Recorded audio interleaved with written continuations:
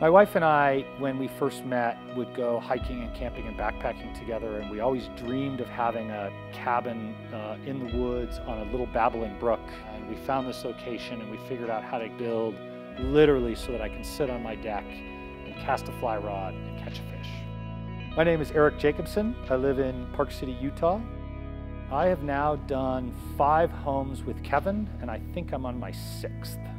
Another project we did was the one we're sitting in now, which is a cabin. It's a very rustic, um, Sundance-esque uh, uh, style to it, on a river. So some of the things that, some of the ideas that we came up with and really enjoyed is at one point we said, hey, we should use as much material from the property in the house as we possibly can. So that ended up putting a lot more rock into the design of the home. So creating our fireplace in the living room.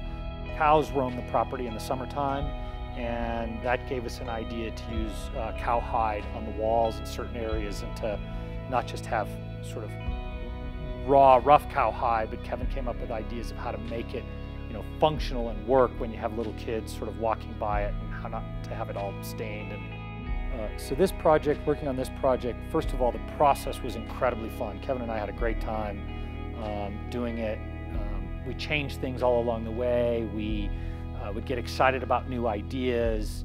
Now that it's done, it is so far above and beyond my expectations.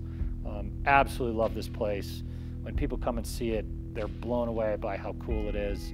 Um, the special touches, both of my own life, my own things that I love, family memories, family histories that we built into uh, the house that are just very special to me personally, um, as well as sort of unique touches that somebody who doesn't know me at all could walk in and say, wow, that's, that's really cool. So, absolutely exceeded my expectations. I'd recommend Kevin to anyone, and in fact, I have. I've recommended uh, Kevin to numerous people, and of those who took the recommendation, which is most, every one of them has said it's been a great experience. So I have a huge amount of confidence uh, recommending Kevin to anyone who would ask.